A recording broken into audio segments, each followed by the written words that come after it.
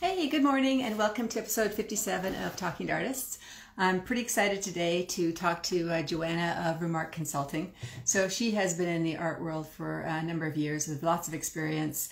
And uh, not only does she have, provide um, guidance to collectors who are looking to build their audience and build their collection through specifically local artists, but she also has a pretty robust mentoring art mentoring program. So today we're going to talk to her about the artist mentoring program she has going on.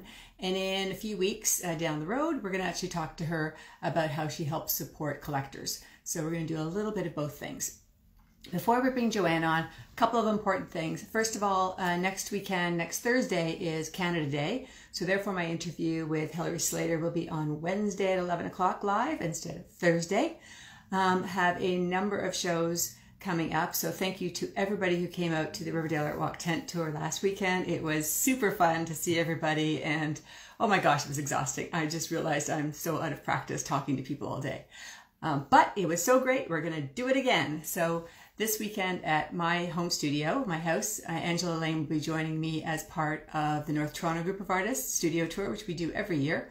42 artists in total. So a great opportunity to ride your bike, bike, walk, check out all the art. So excited for that. Uh, Toronto Outdoor is also coming up as well. I'm part of Rave Austin, which is a um, an online virtual show that's streaming starting. Uh, it goes tonight and tomorrow, and so uh, the opening is tonight at seven.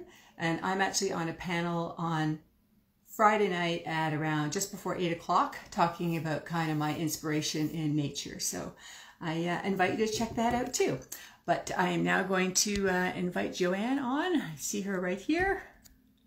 Or To catching up with her.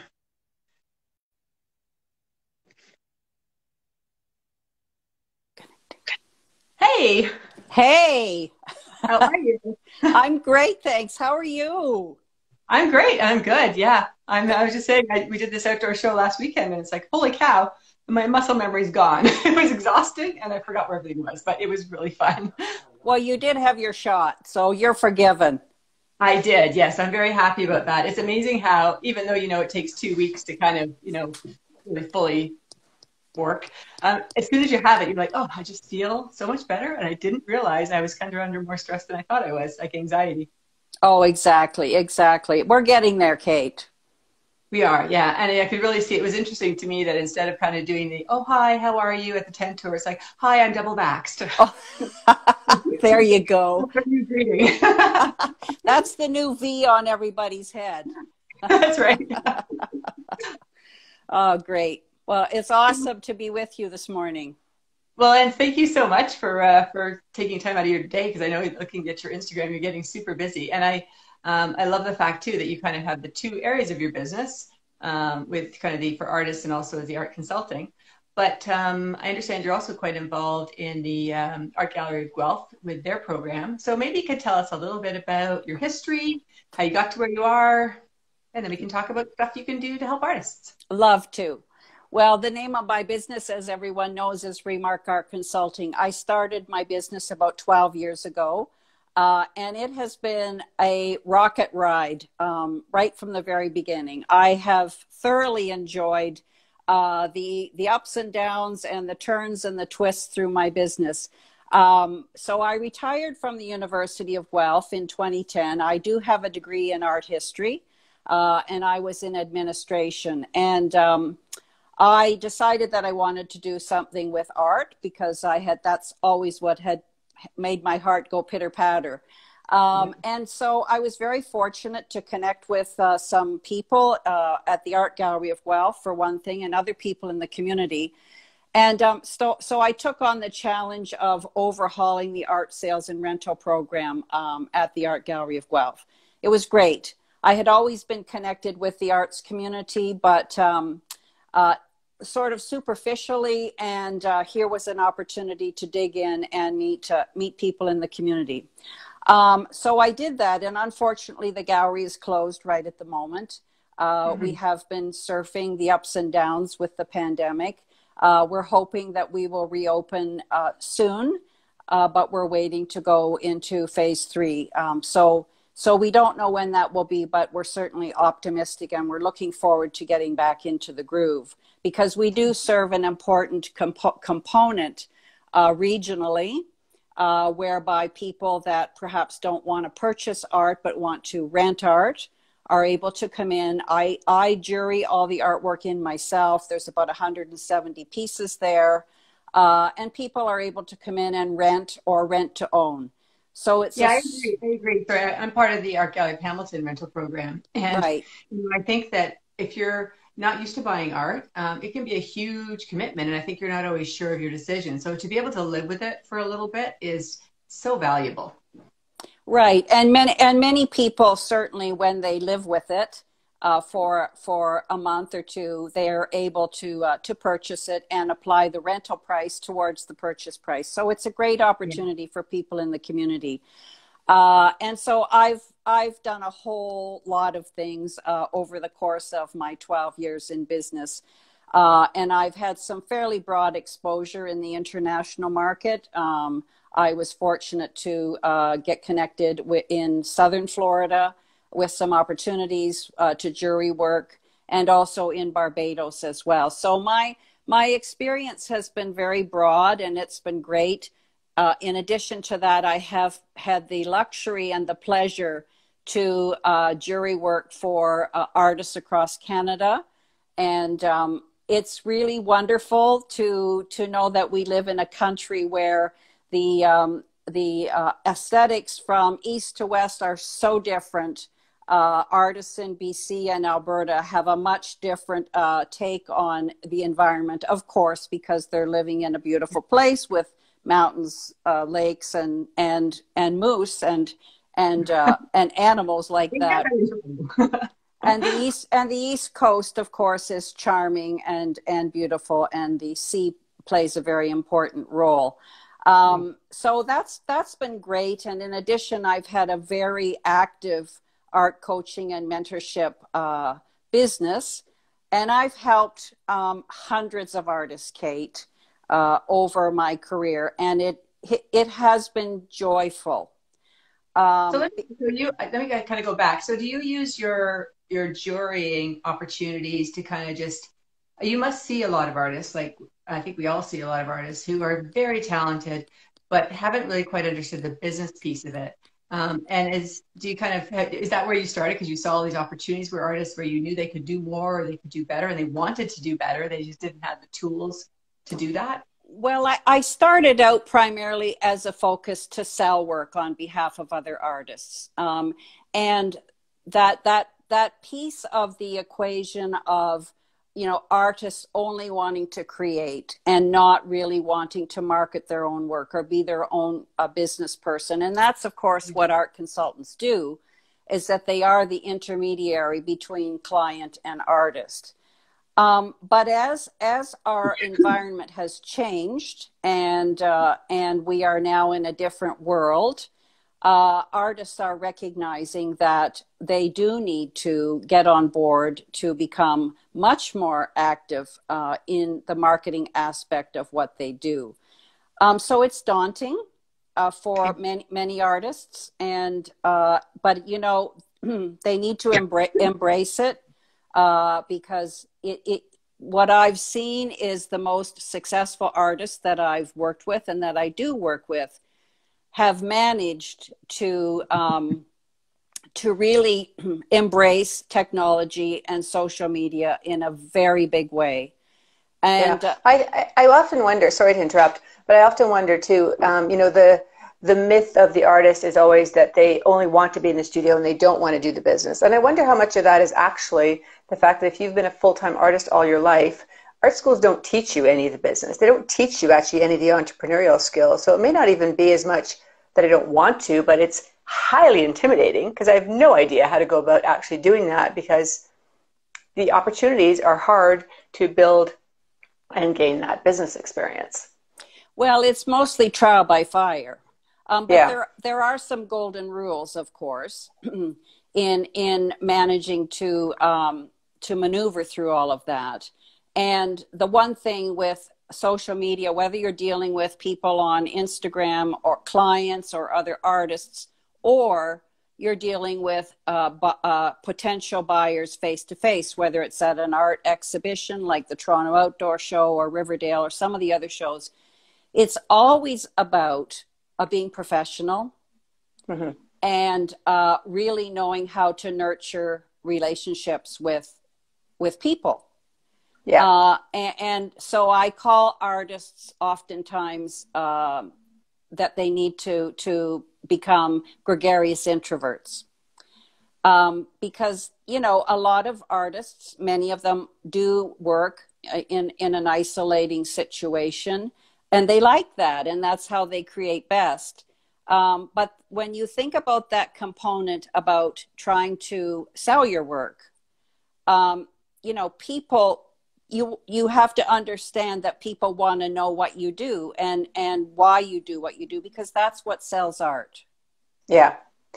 I yeah i agree. I agree. And i think that even with the being professional you know i've known artists where you know the the language of art and of artists can be quite different from the language of say the average person or collectors even in terms of how they describe things and they describe color and I do think that part of that is understanding the collector's point of view and modifying your language. Um, and I, have seen these conversations where you can just tell that the artist is very excited about what they're talking about and sharing, and the collector is totally dumbstruck because they don't understand what they're saying, you know? So it's kind of translating your vision and your ideas and your thought into something that's um, um, approachable, I think. Well, and just being engaging. For example, yeah. if somebody does express interest in your work, um, you know, you're going to start a conversation. You know, uh, thank you very much. Um, I'm glad you like my work. How, is there something that I can answer questions that you have? Are you interested in why I did this piece and how I did this piece? And and begin to to form a, a, a connection. And you can do that on social media as well. You can do that on Instagram, where if someone if someone expresses interest, then you start a conversation, right? Yeah, um, for sure. And and I always believe that um, at, you know you work under the 80-20 rule. 20% of your clients are going to bring you 80% of your business. Mm-hmm. So you need to really um, understand and form relationships with your clients, whether it means that you keep in touch with them every now and again with a newsletter or with an email or say, hey, what's up? Uh, this is some new work I've done. I'm really excited about it. Um, I wanted you to have a, a, first look at it. What do you think? Um, and always, always, always uh, treat your clients with respect and give them white glove service. So yeah. many, many times I have gone over and above uh, to make sure that uh, I satisfy my clients' needs so that they come back and they refer. Like I find a lot of my refer. my my referrals are, or my new clients are referrals from previous clients. So you keep them happy. It's kind of the gift that keeps giving. But I want to start right at the beginning. So if I am an artist who feels like I've I've got the art piece of it down, I think um, I'm now ready to look at doing this professionally. Um, what would be maybe the tips you can give to just sort of starting off? And I know that on your website you talk about building confidence and honest critique. So, how would you kind of structure that, or how would you help me through that if I'm a very beginner artist, emerging artist? Well, Kate, you know, I have I have come across uh, different types of artists in my day, and uh, I've come across artists that uh, are afraid of success, or they're afraid of failure, uh, and so it it it it becomes part of the package of understanding who you are and face something face some of the internal challenges that you experience. And you know being an artist is uh, is daunting to begin with. Um, you know people that are artists have chose a profession where uh, it, it, it can be daunting you're faced with a lot of competition and particularly now with social media uh, instagram has just raised the anxiety bar higher and higher. Um, yeah, there's artists, so much more to compare yourself to, and there's correct. always opportunities to sort of prove that you can't do it. correct. you're not careful. Correct. Yeah. Correct. So I always start with the with the position of artists understanding why they want to be an artist uh, and what that means. you know, we're not going to talk about the 10,000 hours that you have to put in because every artist does have to do that. And I have yet to meet an artist that um, is successful based on luck. You create your own luck as an artist mm-hmm. and you're willing to drill down and commit and be determined and be able to take criticism uh, from uh, either uh, uh other um, cli- uh, potential clients or other artists. But the one thing I think, yes, sorry, I think that's just, I just want to touch on that a bit because I think that's a really, really important part of growth. Um, that I think that is also very hard to do. You know, and it's one of the things I think I didn't fully appreciate when I went to art school, but I really appreciate it now is learning how to give and accept constructive criticism that's not intended to beat you up or be mean. It's intended really to help you become better. And it's sometimes it's a different mindset for the artist too to be able to kind of remember that when you're hearing this feedback. But very, very valuable. And I read one of your testimonials that said you're you're um, you're very tough and you're very honest and tough. And I think that is amazing part of what you offer. Well, you know, it is about taking criticism and and being able to understand that, you know, there are no bad paintings, there are no failed paintings. Every painting that an artist produces is an opportunity to learn. Um, I look at my business that way. I don't look at, you know, I, a failure as a failure. I do honestly look at it as an opportunity to, um, you know, reshape, re- reform uh, understand what I can do better and go forward. Um, yeah, and, me too. And, and, and, you know, artists are uh, an interesting lot because they, um, I don't know of any other professions where um, you have to put yourself out there so so broadly for the world to see, and then see what happens. yeah. So they're looking at your yeah. work and they're and they're and they are looking at a piece of you and um, that's not easy to do sometimes right? Yeah. Um, and, and, and i know some artists that struggle with signing their work um, because they just don't ever feel like it's ever good enough. And you have to get beyond that to um, have that level of confidence with yourself that I've done the best I can. I mean, I'm never saying, never put any work out there that you're not satisfied with and that you really don't think that it's your best work that you could possibly do.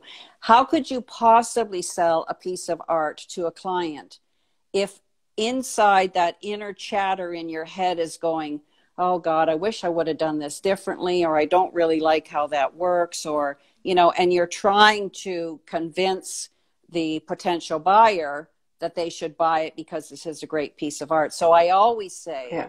Never put it out there unless you're completely happy with what you what you're going to do.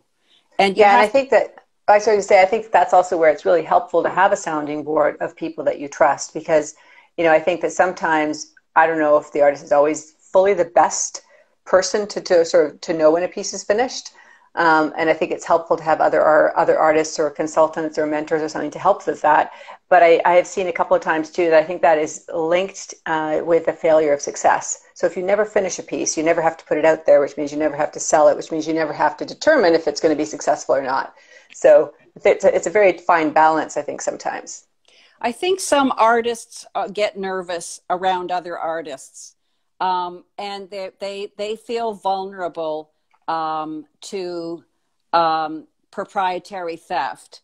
Um, yeah. And, and, and, and I understand the sensitivities around that, but you know, um, artists can be um, their own best advocates, and, and, and many artists should be looking to other artists for resources and assistance and and critiquing and and help. I think it's really really important for artists yeah. to, to understand that. I agree. I agree. And it has to be someone, of course, that you really trust. Um, right. That, that you kind of can also accept that criticism because sometimes it's harsh. As everybody knows, my sister is my best uh, critic. And sometimes what she says is harsh, and you're like, hmm, you get your back up, and you're like, no, she's totally right. Like, you know, you have to think about it. She's, it, she's not trying to hurt me; she's just trying to help. Well, you know, my job is to nurture and and assist and to make people feel better. And you know what? It's always about validation with with an artist. It, that that's what they want to hear.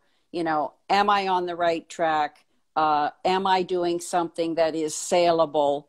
And um, what can I do better? And if you can sit through, you know, a one hour consultation with me and have me share with you honestly um, what I think would be helpful, then you're going to stand a chance at being able to uh, to go forward and grow as an artist. Yeah. And so, do you go right back to uh, taking a look at? We've had a lot of conversations and comments about like the artist statement and the vision, and you know how you're taught to do an artist statement in school. You, the artist statements you see, which I find personally are a lot of confusing words that don't really always work. Um, is that kind of where you start, or where? How does your well, our artist statements are, in my opinion, uh, artist statements uh, need to be great because you need to you need to separate the wheat from the chaff. Chafe. You have to yeah. really you have to engage people. So when I jury a show and I look at artist statements, um, that really within the first paragraph really tells me how I'm going to feel about the work. But I but I want to know I want to know expressively uh, what the artist is trying to tell me. So use good words. Use you don't have to write an essay, uh, but you do have to write um, clearly what what you're trying to say. And a lot of artists can't can't do that, or they need help to do that. They struggle mm-hmm. with it, but it's really really important. And um, I think that artists need to spend time in thinking about that because honestly, an artist statement can make or break uh, somebody's first impression, a juror's first impression of how they're going to feel about the artist's work. If if I know that an artist has taken time to think about it, they are articulate, and they are really able to convey the message that they want to convey, then I'll give them some airtime that's that's fine. Well and i guess the other critical part is you know is really being able to differentiate. Like i found that i my i, I just recently rewritten my artist statement. I had some help with it because i was just really struggling. But as i was looking through artist statements i realized you know mine sounds so much like so many other artists. I'm inspired by nature. Like so many artists are inspired by nature exactly you know? um, and when you start to actually kind of sit back and look at it critically i kind of realized yeah it, i spent a lot of time on it but it still isn't great you know so i feel much better about the one i have now and we'll see give it some time. But yeah, I, I think that, again, it's just helpful to have somebody else's viewpoint maybe to kind of help you get out of you as the artist. What is your vision and how do you feel about the work and what your inspiration is? Well, you can't be all things to all people and you can't be good at at everything. Um, yeah, I wish you could, but no. I, I, wish you could. So you know that that's that's the reality. Um, is that sometimes people need a little bit of help along the way to uh, to really um, nudge them forward in in some of those things like like um, artist statements, which I think are are very important. Or if you are going to enter a juried show, um, you know, if somebody's able to take a look at your work and go gosh, this isn't framed well. Um, you need to think about that, or um, you know, tidy it up and, and, make sure that you're really um, putting your best forward. You want you want recognition, and it goes back to brand. And I know you know all about branding, Kate. but you know your your brand is is important, and yeah. when when you develop a, a, a reputation and then you develop a lot of inconsistencies to what people see throughout your work. Um, I think that you go down a bit of a slippery slope with all of that. So mm-hmm. um, I just think you need to to to take time and and really take time in all aspects of what you're doing rather than you know sit at your at your easel and think I have to produce something today and what am I going to do? And you're forcing yourself to produce something. And um, yeah. invariably, that's not what your best work is going to be. And in this environment where there's been a lot of worries there's been a lot of insecurities for artists there's been financial challenges there's been families that have struggled with you know homeschooling their kids and job mm-hmm. loss and all that stuff how are artists able to go in go into their space their sacred space which is their studio how are yeah. they able to walk into that space with grace and with peace and calm and serenity and gratitude and say, okay, this is what's happening today. I feel calm. I don't feel pressured.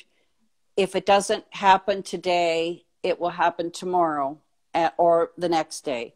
And that's when you produce your authentic work. Yeah. Yeah. And I've also, um, for me personally, too, I find, and maybe because I had so many years uh, working in a, in a sort of more formalized business, I had a marketing firm versus doing the art. I find for me, what is a, a, pillar of success for me is actually being able to schedule those things. So, you know, obviously it's, it's easy because the being in the studio is the fun part, you know, to spend lots of time there. Um, but I do find that sometimes by kind of saying, okay, on these days, I'm going to work on my social media or I'm going to work on, or my, I'm going to work on my business plan. I'm going to see where I sit with my business plan. You know, I find to a certain degree that does free me up to not have to worry about it all the time because I know I've got some dedicated, committed time to Monday's a day behind the computer and I'm going to get a bunch of stuff done and that frees me up to, you know, to kind of paint for the rest of the week. Um, well, well, social media is a monster. Yes. And, and, and everybody's caught up in, in the swirl. Um, and, you know, it, it can become all consuming. And if I can say um, that so many artists are now caught up in, you know, the number of likes or the comments or the number of followers and it's really driving artists insane yes and um and i say you know uh, pull it back a little bit and so if you want to devote 15 minutes at the beginning of your day or whenever you feel good 15 minutes of your day. If you have to set a timer set a timer. You're going to do your social media. That's it. Um, and how you're going to compartmentalize your day. So you know you're going to answer the emails in order. So you're not going to look at 15 emails and start you know you're all over the place. You're going to you're going to respond in the order that they came to you uh, you're not going to take phone calls uh, if if you're committed to other things in your day. Um, mm-hmm. it's really it's really important because i understand that it gets all consuming to try and do too many things and then it's overwhelming. And, and you, get, get, nothing done. and yeah. you get nothing done. Yeah. You get nothing well, I, done. and i found that recently i was i don't know what i was i just i was just doing the social media and not really thinking maybe about what i was doing and uh, julia veenstra called me up she goes you know kate like you know, for a professional artist, your Instagram feed looks like a dog's breakfast. And I'm like, she's totally right. I don't know what I was doing. I'm just like, she goes, are you a gardener? Are you a kayaker? Are you a painter? I'm like, yeah. so I kind of needed a bit of a kick in the head because I had just kind of gone, I don't know, randomly posting stuff and not really, again, strategically thinking about your brand and your look and, you know, how you appear to a stranger who's never seen you before. You start to get into the habit of thinking, oh, it's just my artist friends. They know me, right? But that's not the point of it. So so important. And actually there are people now in the business who do instagram audits. And so people will look at your overall feed and say like julia did what's that all about? Is that fit kate taylor art? Where how does that fit in? You know because it drives me crazy when uh artists you know post their favorite martini or they um, you know they they post a picture of their dog or in the morning. That's not in my opinion that's not relative to their brand. Yeah. So you know i don't post personal pictures of my family. I don't post pictures of trips that i've taken. I stick to my brand of an art consultant and what that means and and that's that's that's that's what i'm about to the public. That's what i'm about. Yeah i find it sometimes for me it's a bit of a, struggle with you know on one hand it's like you know i know what the brand is and i know what the look is. And you know i wasn't really brought up necessarily in the social media world so i don't really personally feel the need to share everything i'm doing with everybody. But then the other part of it was people wanted to know, you know, about me as a person and the authentic life that I'm living. And, um, and so it was kind of finding that balance, right? Between, like you say, I don't necessarily post everything about my personal life because my son, my husband, my kids don't want to be on my social media, but it is also part of the who I am as an artist, which kind of trying to fit that in, I found is sometimes a little bit of a struggle. Well, you know, I, I, I, think what I see is again when when artists are now doing stories and and reels and uh, podcasts and web webinars and so on. Um, I think there's a lot of noise going on, but I still think that you can inflect your own personality um, to people by what you say, how you say it, uh, mm-hmm. how you how you um, convey your personality and the warmth of your personality and so on.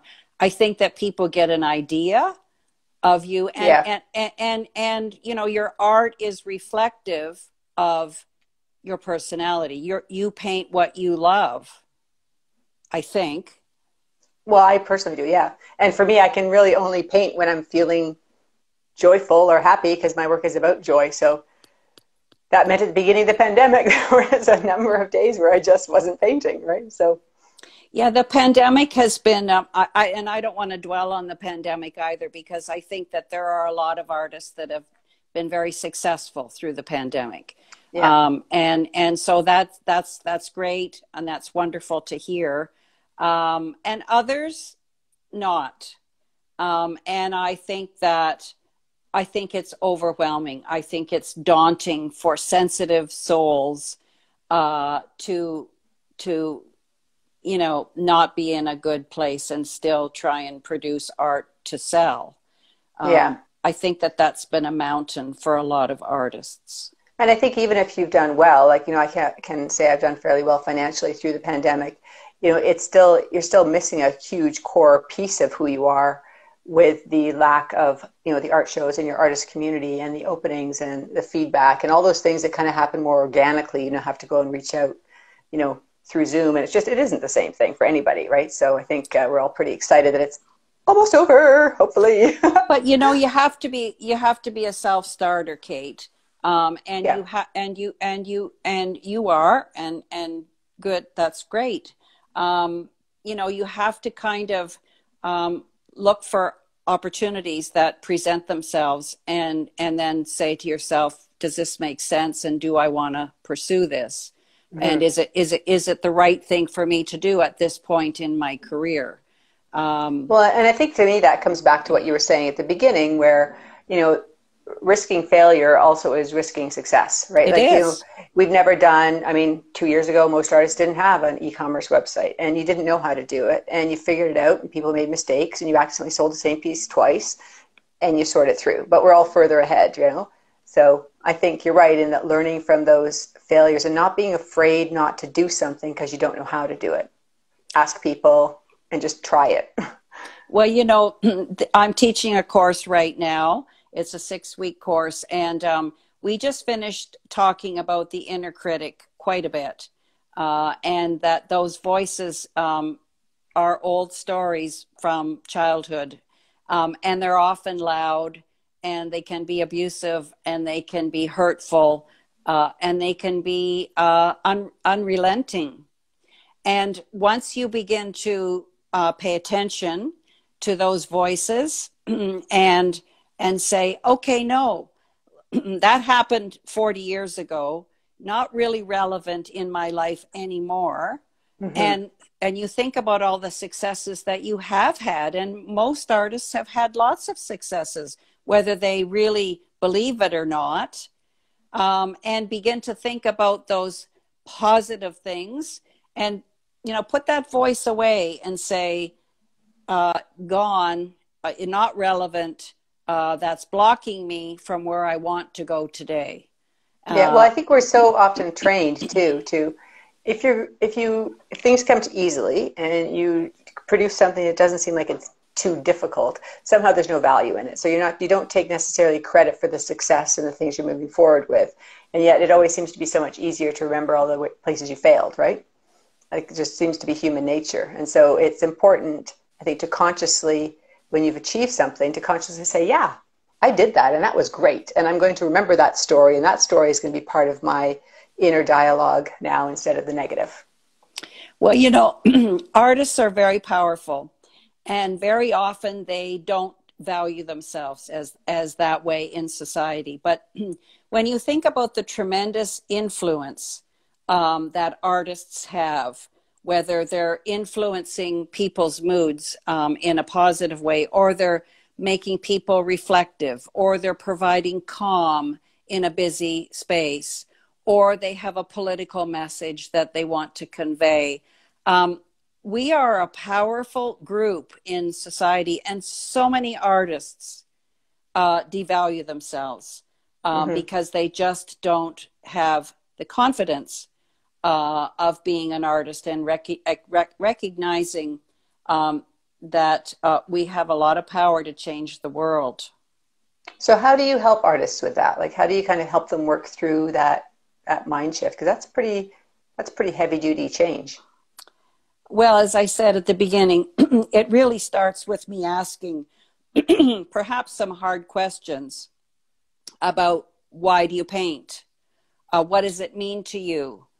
Where do you want to go with all of this? What does success mean for you? Does success mean financial success? Does it mean uh, the number of likes and comments on your Instagram account? Does it mean your reputation in the community? Or does it mean that you have a success with what you're doing yourself. Because you know I, I just think that is so important for artists to begin with the basics. You know you're not going to paint well some do. I mean i have encountered some artists who i call it the gift a natural gift from above. Um, they just they they're not they, i don't see them often uh, but they are self taught and they have magic in their fingertips. They can just do that and do it well. And uh, I say, as an art consultant, and I look at art, Kate, every day of my life, I can tell when an artist has painted authentically and they've painted from their soul. because art then speaks. Mm-hmm. And buyers know that too. So buyers may not be articulate in understanding the nuances of composition or or color theory or any of those things, but buyers know a good painting when they see it. They respond kind of viscerally or instinctively to the work. They respond. So I start at the basics with an artist, and and oftentimes artists are lost.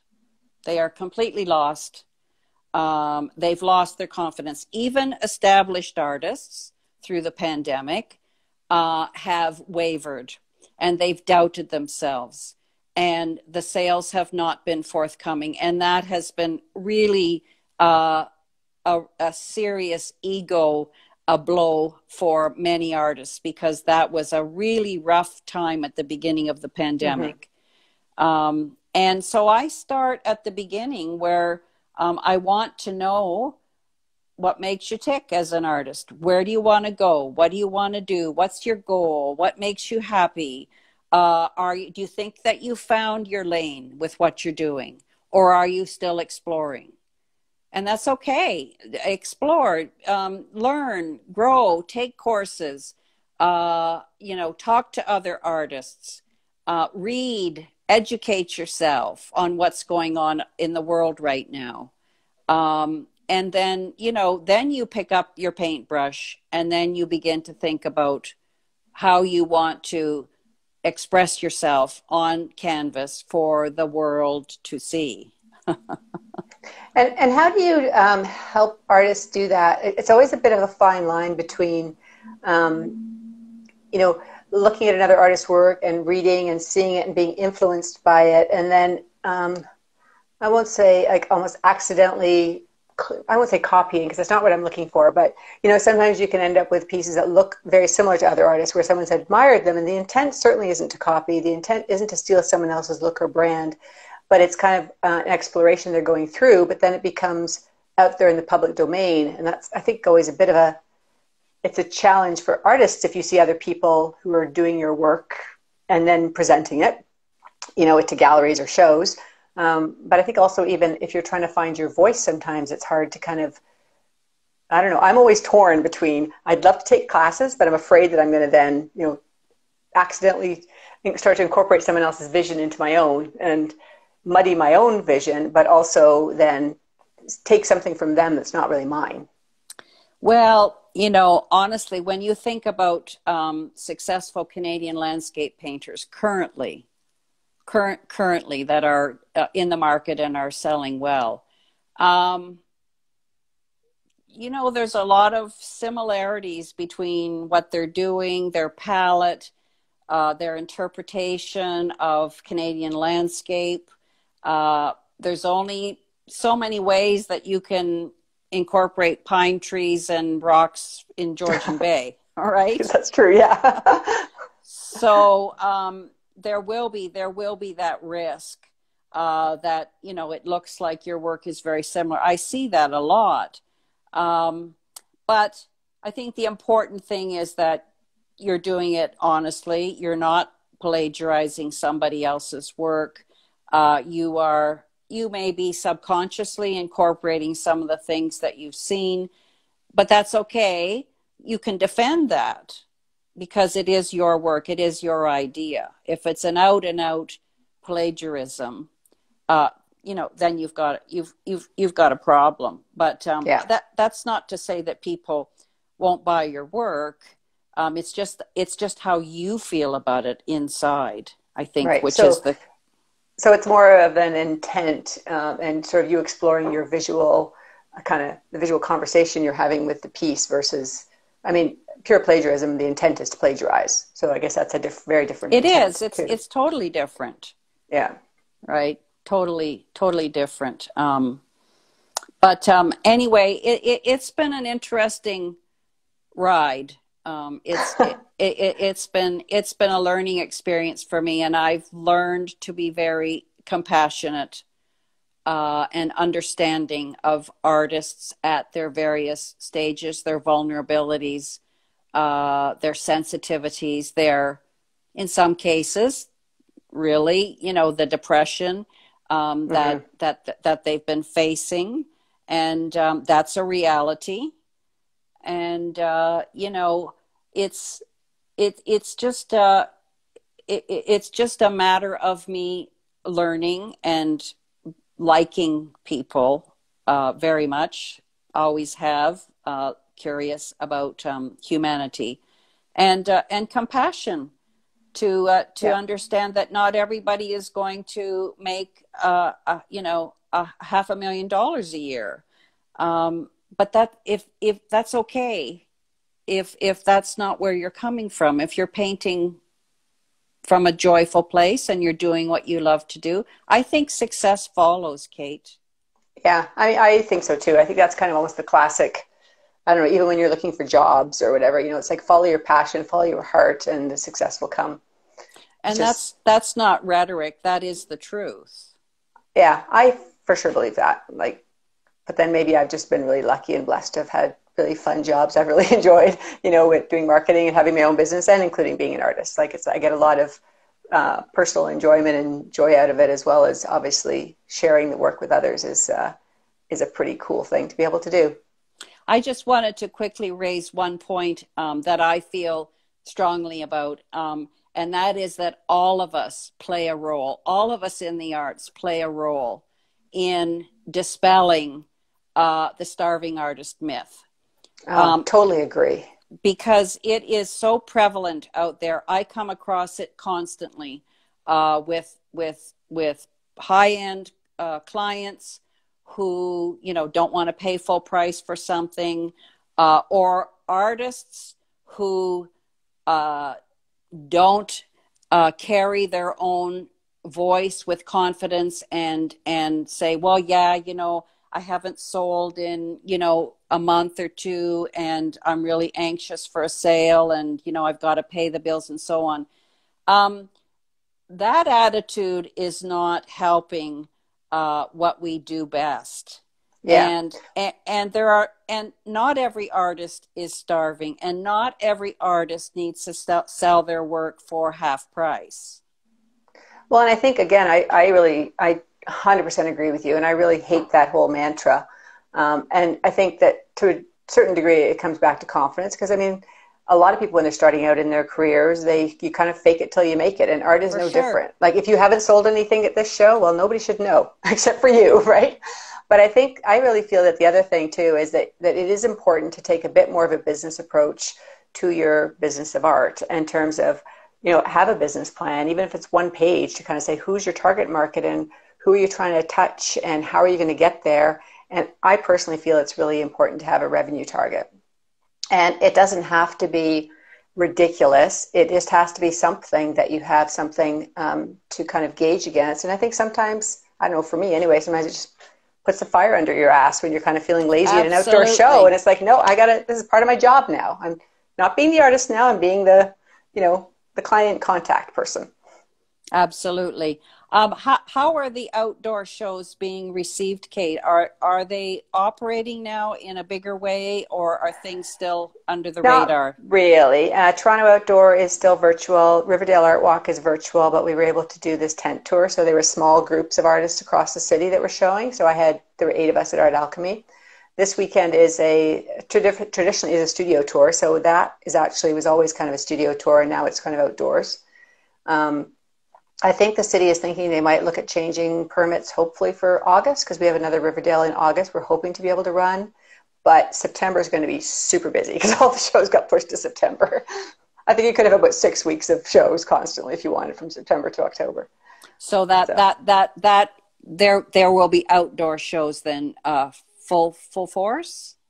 Yeah, for sure in September, and I think it's I think there's smaller shows that are happening. So you know, I believe, for example, at Toronto Outdoor, they've got uh, stuff at Stackt Market. So it's smaller groups of artists that can kind of go and uh, so people can see it. But I think, you know, people are just looking forward to, oh, sorry.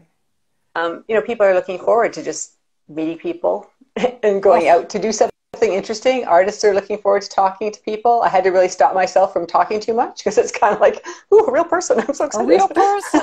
yeah. but yeah, generally, I think that it's it's time. Um, you know, and also then travel. Like, you know, I'm doing um, Art San Diego and a show in Washington uh, awesome. in September, in October, and I'm looking forward to kind of resurrecting that piece of it because, you know, it's great for the business, but also I enjoy traveling, and it's a good opportunity to do both at once. I just, I think I had a notification from Art Toronto at the, I think it's October 29th at the convention center. Looks like they're doing a mix of, uh, of in person and virtual. I can't yeah. imagine some of the big shows like Art Miami or Art Basel where they they had to do everything virtually. Um, that was such a challenge. Yeah, yeah. So I think for sure, I suspect that, that we will always be changed. Like I think there always will be now a virtual component for all these shows. Uh, it just feels like it makes sense and you can reach a broader audience, which is good, although it's a lot more work a lot more inventory control and inventory management and all that kind of stuff.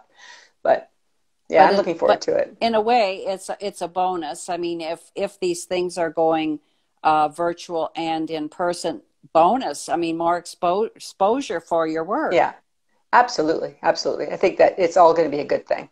So I, I think, think, once so we kind of get back into the momentum, I think it'll when artists are feeling a bit more comfortable and confident because they have their foundation of shows and real people they're talking to and they're rebuilding their databases and they're rebuilding their leads that are coming in for commissions and stuff. And I think that that will kind of help reduce anxiety. I think so too. And, you know, I've yeah. always said viruses don't kill art. That's right.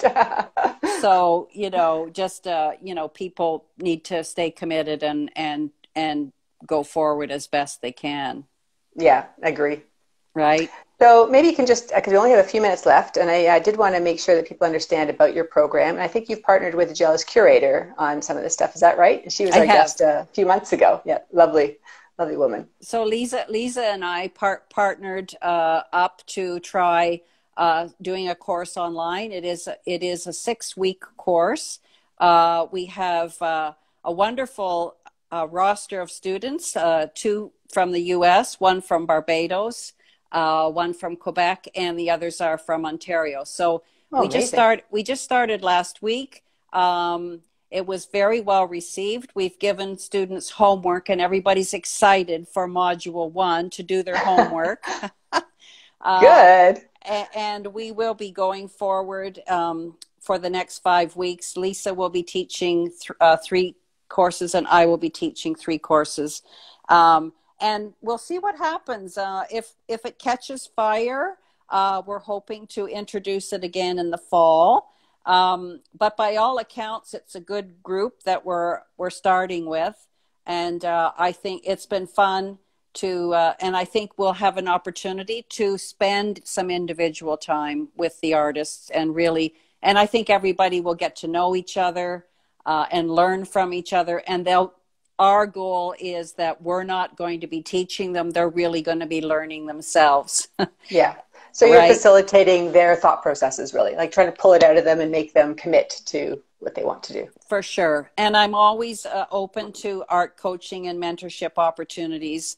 Uh, it's been busy and I've enjoyed that. I've done it from coast to coast and uh, it's, it's great. It, um, I would much rather be in somebody's studio and having a beautiful face to face conversation. But if that can't happen, uh, I'm happy to do it on Zoom. And sometimes artists need, you know, two or three consultations to yeah. get them up and running. But um, but like you were just saying too, your business also has expanded by being able to do this online, right?